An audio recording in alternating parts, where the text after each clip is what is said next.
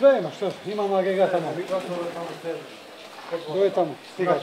Ако сакаш, малку има калам. Има агрегат тамо, има мотор. 4000 евра само натре, тоа што е. Штета има. Натре.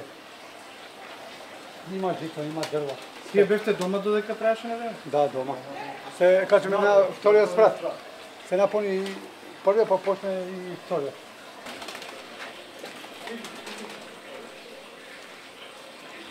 И ова се сами чистите. Све сам. Кој ќе ми плати мене? Ќе ми плати некој? Види, види. Тоа ќе се катастрофа. е. Ај, до ту беше. Види, до, до каде беше.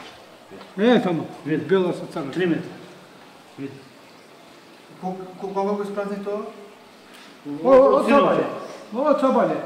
Сина па пак се затвори тоа. А, а има, имате ли помош од некој од Нема помош. Ништо не помоше, не помоше. од општинава, од градоначалникот, механизација не ви праќаат овде? Не, не, не, не. Господине, вие вие сте собственик на локалот, така на продавницата. Да, Знаме дека во моментов имате огромна штета во продавница. да, како што гледате тоа. Штетата е огромна. Треба да се направи записник колку ќе биде штетата. Сега не може да се одреди штетата, колку е. Ден, два, ќе видиме.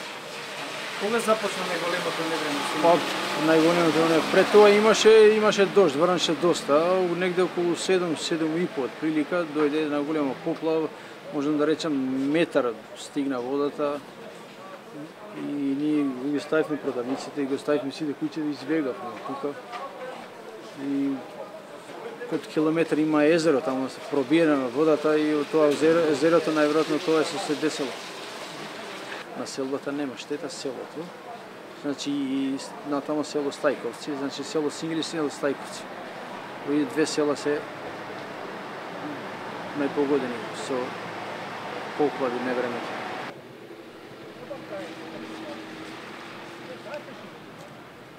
Немаме влечки, немаме ништо.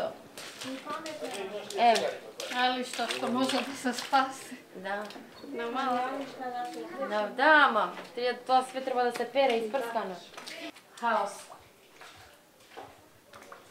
Тоа е. Нема, ништо не е спасено. Тука, хаос, невиден. А ви помага ли некој со чистењево со Никој ништо не ни помага. се сами? Па сега и уствари, не знам дали ќе земам да го исчистам ова. Многу е, не можам.